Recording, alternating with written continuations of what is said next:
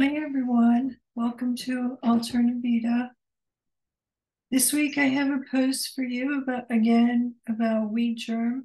And this time it's about wheat germ extract and cancer. One thing always leads to another, and I always kind of um, just put metabolic syndrome and um, cancer as a separate category of conditions that existed and can develop whether a person has been breastfed or not.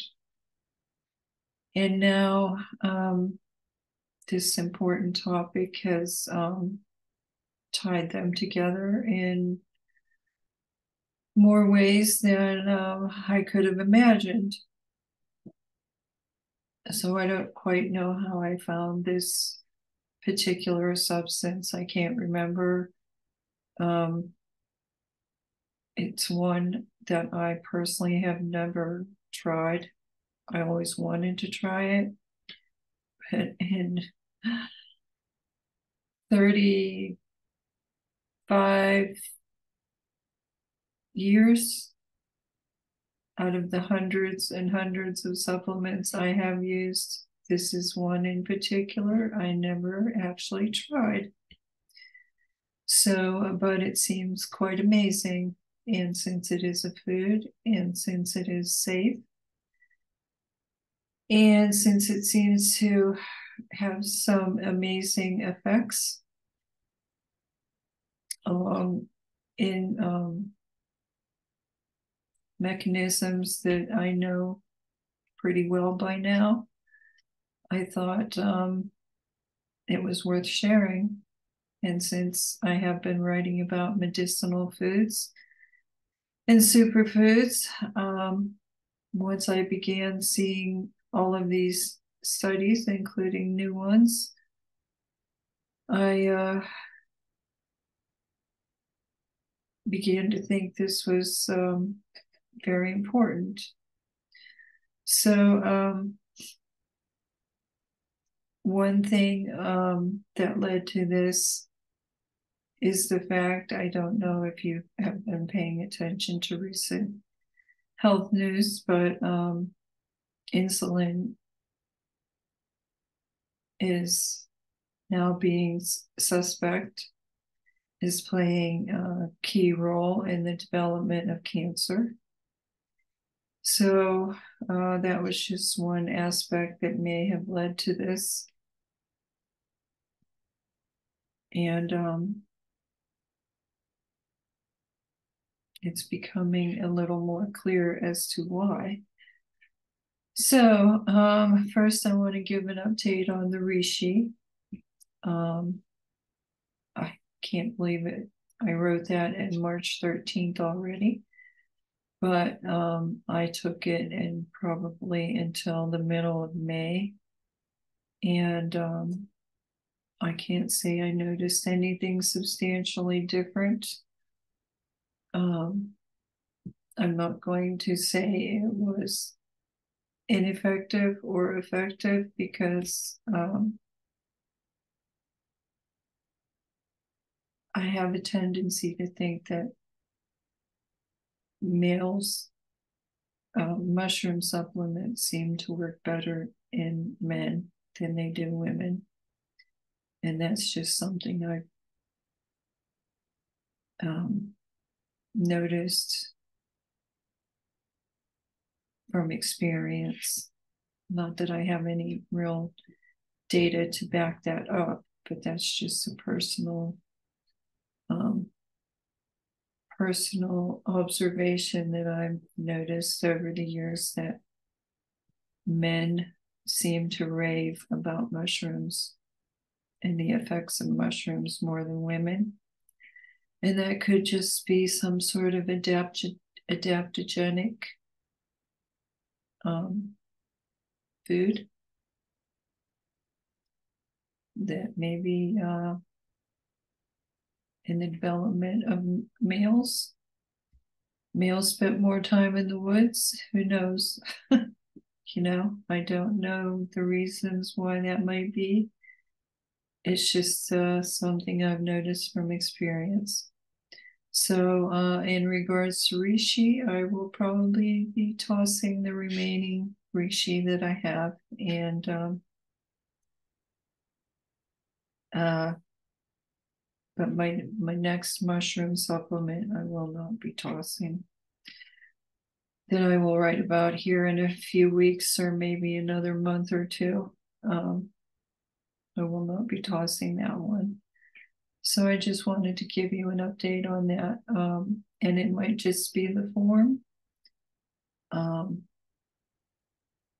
I know some people love the tea and some people love the extracts and some people love the um, more bioavailable forms of reishi, especially maybe the fermented. So, um, which this was not. It was simply uh, reishi powder. Okay, so let's get on to this story. And um, I wish I was better at memorizing all of this so that I could um, not have to read. But unfortunately, as much as I've tried to simplify it, and then have it uh, rewritten in AI to a lower level, I still can't remember everything off the top of my head. So I'll be reading. Cancer has, the uh, title is uh, Fermented wheat germ induces autophagy and restores mitochondrial function. So I think you'll agree that's pretty remarkable. Cancer has been considered as mitochondriopathy. Almost 100 years ago, Otto Warburg spotted something special in cancer cells aerobic glycolysis. This change in metabolism is a big deal for cancer cells. It helps them make enough building blocks like nucleotides, proteins, and lipids to grow fast. Unlike quiet cells, fast growing ones need lots of carbon and nitrogen so they don't focus on making energy, ATP, the usual way. OXPHOS. I can't remember what the XOX stands for, oxygen phosphorus, maybe. Instead, they use mitochondrial enzymes to build substances they need. They also don't pile up NADH and make less ATP by turning extra pyruvate into lactic acid. This shift from OXPHOS to glycolysis is controlled by a key enzyme, LDHA, which slows down glucose processing in mitochondria. This change affects important functions like cell cycle control and cell death, help, helping cancer cells survive and grow. So it's not a surprise that cancer often comes with dysfunctional mitochondria and metabolism. So that's apoptosis, and that's a good thing. And um, Scientists have tried to stop this Warburg effect by blocking LDHA or another enzyme, PDK, to target cancer cells without harming normal cells. In the 1980s, Nobel winner Albert Szent Gyorgyi's work. Um, I'm not sure the origin of that name, inspired research on fermented wheat germ extract as a possible cancer fighter. By the 1990s, studies began showing fermented wheat germ extract, fermented wheat germs ex, impact on glycolysis and its power against cancer in live animals. Small studies in people also supported its use in cancer care. Here, researchers explore a potent fermented wheat germ extract. They found it boosts mitochondria, helps process pyruvate better, and slows down the Warburg effect, all while all while all while being safe for the liver and overall health. And the title of the paper is Mito-Oncology Agent Fermented Extract Suppresses the Warburg Effect, Restores ox- Oxidative mit- Mitochondrial Activity, and inhibits in vivo tumor growth. And wheat germ induces autophagy and normalizes mitochondria metabolic activity. So I've added a couple things to this this morning in case you had seen it already. So the findings, the activity activity, this substance is called A250. The activity of A250 was tested in cell proliferation assays on seven different cancer cell lines kidney, melanoma, ovarian, breast, colon, and two metastatic prostate cell lines. And um, it was also metastatic ovarian and metastatic breast. This study shows how fraction A250, a super concentrated form of fermented wheat germ, fermented wheat germ extracts active parts has some amazing actions. It changes the sourness in cells by lowering lactic acid and switches up cell metabolism, moving away from the Warburg effect to boost how much carbon goes into the mitochondria and gets used up. A250 also opens up the later outer layer of the mitochondria, letting cytochrome C out of the cell's jelly like substance. This cytochrome C plays a big part in making cells die, especially through mitochondria. Plus, A250 helps cut down on glycolysis, sugar processing in cells, making it tough for cancer cells to get the nutrients they need.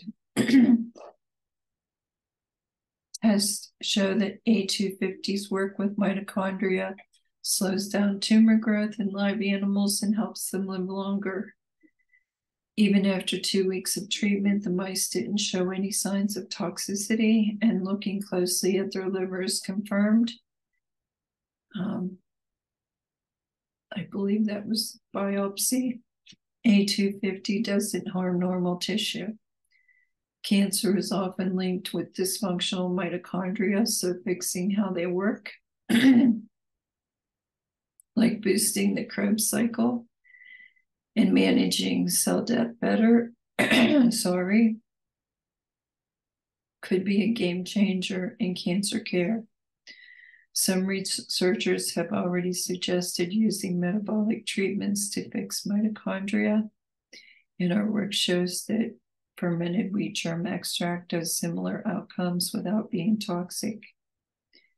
A250 could be a benefit along with regular cancer treatments by balancing cell energy and making cancer cells more likely to die. So then serendipitously, I saw this short on YouTube and um, it was specifically talking about mitochondrial damage. And as you know from this particular doctor, Dr. Robert Lustig, the only substances that actually reach the mitochondria, no drugs reach the mitochondria, and the only substances that actually reach the mitochondria are foods. So um, I put a clip in here from him. Which calories cause the greatest mitochondrial damage? And I use the term calories because that's what he's specifically referring to in this snippet about how calories aren't fungible. Calories from fats are different from calories from proteins, etc. And which ones cause the most damage? And they are in order fructose, trans fats, BCAAs, branch chain, branched chain amino acids from corn fed animal meat products, and alcohol. So,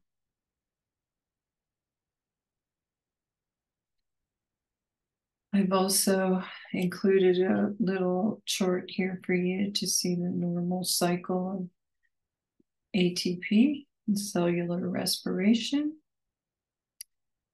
how it works. Cancer has been thought of as a problem with the mitochondria.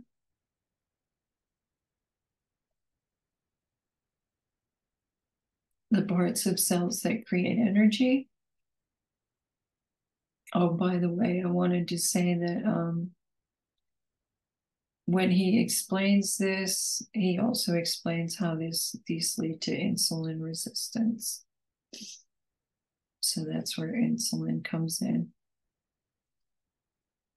Because the liver is a key component. So cancer has been thought of as a problem with the mitochondria, the parts of cells that create energy. Because of this, fixing how mitochondria work specifically by activating the Krebs cycle and managing cell death processes, could lead to important advances in cancer treatment. One idea proposed by Schwartz and others is to use metabolic treatments like hydroxycitrate and alpha lipoic acid to restore mitochondrial function. And I added that because um, I have known people who were so um oh my goodness, I can't even remember the syndrome. It was similar to POTS and um uh maybe encephalopathy that they literally could not live without alpha lipoic alpha lipoic lipoic acid so if you're familiar with people who swear by that, you might um, that might help you to understand how important fermented wheat germ extract is because it has similar effects.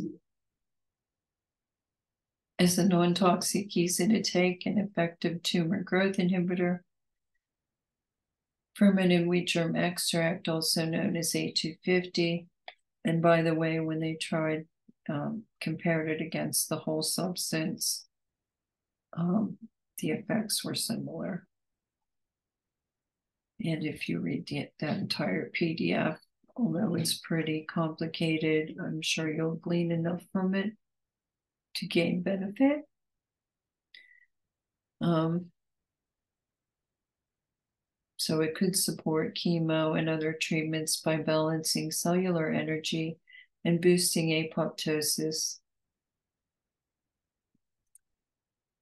Fermented wheat germ extract is a mix of molecules from fermented wheat germ studied extensively for fighting cancer safely. Researchers focused on the active parts using special methods and got a consistent part called A250. This is probably for drug development, which is about 3% fermented wheat germ extract. A250 was tested on seven cancer cell types, working better on some than others. It triggers cell death pathways, showing up in tests by boosting cytochrome C and changing proteins linked to energy in cells. So it also affected gene expression of proteins, especially um, regarding nutrition. So tests also proved A250 cuts down on lactic acid, showing its anti-Warburg effect. So A250 worked just like the whole fermented wheat germ extract in fighting melanoma in mice, even though it's just a tiny part of the original mix.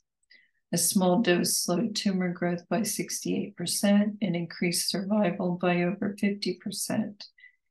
It also boosted proteins in cells and had no harmful effects.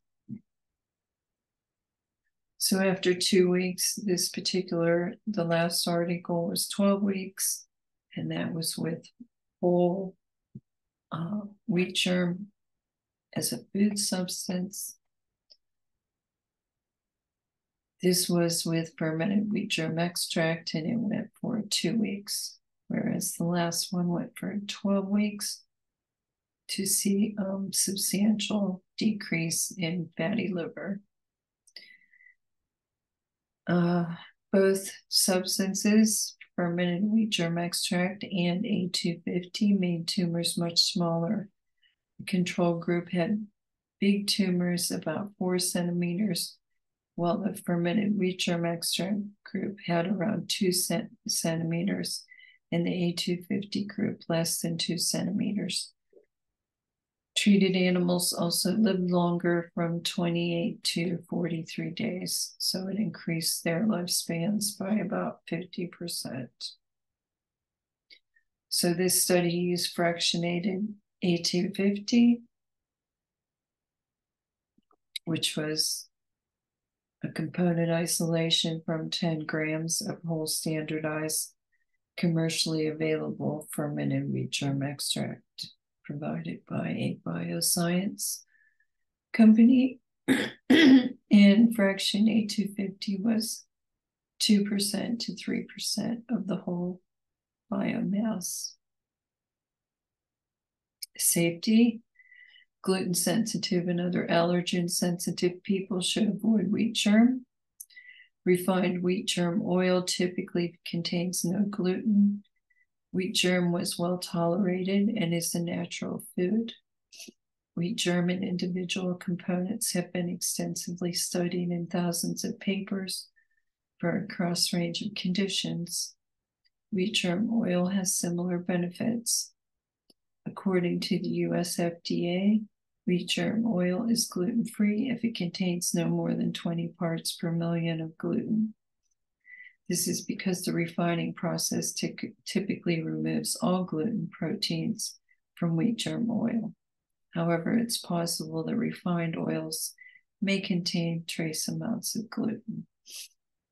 And one more thing I am going to add to the next um, the next articles, which one I don't know, or might be a sing- single post on the history of how flour processing actually made flour much less healthy. And that began, um, what year was it? 1870 to 1890. And by the 1930s, they began to see um, conditions like beriberi, pellagra, other vitamin deficiencies.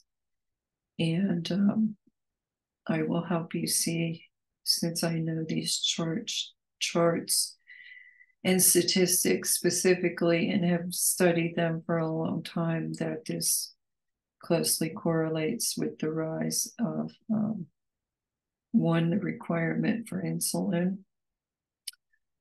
two, the rise in cancer, and three, the rise in um, metabolic syndrome and other malnutrition syndromes that were very, very prevalent. The more popular white flour became.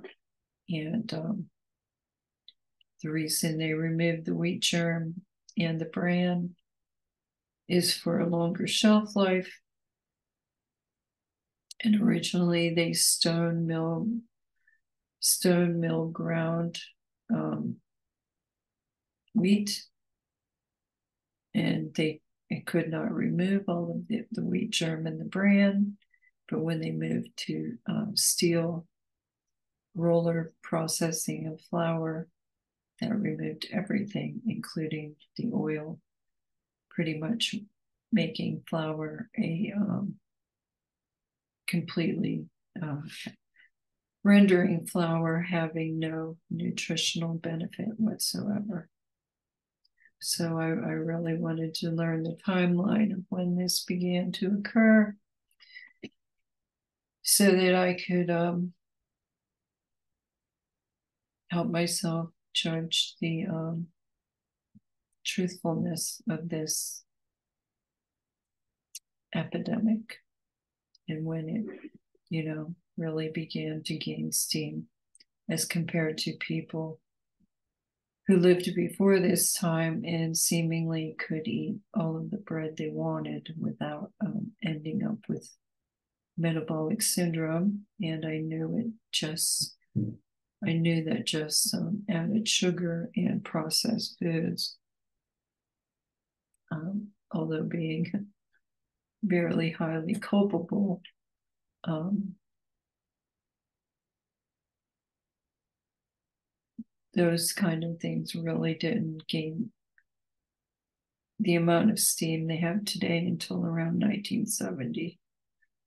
So um, I just wanted to clarify in my mind how how this all correlates. Although correlate correlation doesn't equal causation, but it's it's a strong it's a good indicator of giving you a map to follow. Okay, everyone, on a personal note, um, I would strongly, strongly um, appreciate your support. Um, my daughter um, has been accepted into a very good school for college. Um, she has a 4.0 uh, GPA. She's received uh, $100,000 in scholarships. And unfortunately, um, that covers only about 80% of her first year attendance. And um, if she does not come up with the re- remaining balance uh, for her tuition for her freshman year, um, she might not be able to go. And so far, um, she has been turned down twice for um, student loans. And it has just been um, heartbreaking for um, her and me and her father.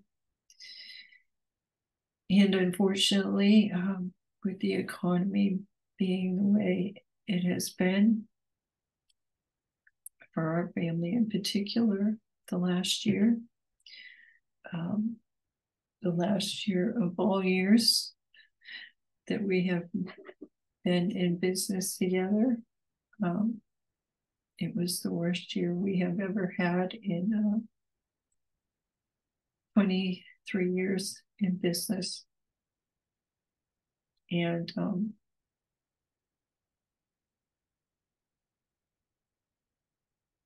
we aren't able to help her very much, although we are desperately trying to. So, um,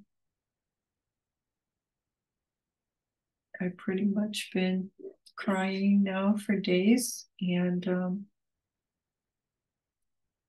for my daughter, who has worked so hard throughout her school career and has made us so proud, and who has a bright future. She's taking English, by the way, and she wants to be a writer and she wants to maybe minor in art therapy. Um, it would be devastating if she wasn't able to um, take advantage of this So um, I would strongly ask for your support. You can donate on my website. You can purchase any one of my books. My ebook now is very affordable at $9.99. Once I compile enough articles on these medicinal foods, they will probably either be added to a Immune for Life or um, become a book on their own. However, I do not think you can separate these two um, these two conjoined epidemics because um, as you know the formation of the microbiome is extremely important for digestion the immune system and um, nutrition as well as the ability to create cellular energy and biosynthesis. So I don't really think they can be um, separated. However, I don't know. Um, I haven't got that far to think about it yet, but um, I'm sure this is since people are always um, so focused on diet um, and don't understand quite how the root of the formation of your microbiota is the key to everything. Uh, I felt the diet was an important part of the story, as well as um, when it comes to diabetes, metabolic syndrome, and cancer. As I said before, they were things that um, could happen regardless of whether a person was optimally breastfed or not. So I would truly appreciate your support. And um, you can visit my Facebook page. And I would be happy to help you with any questions you might have regarding any of these new blog posts. So thanks again, everyone. I'll see you next time. Bye.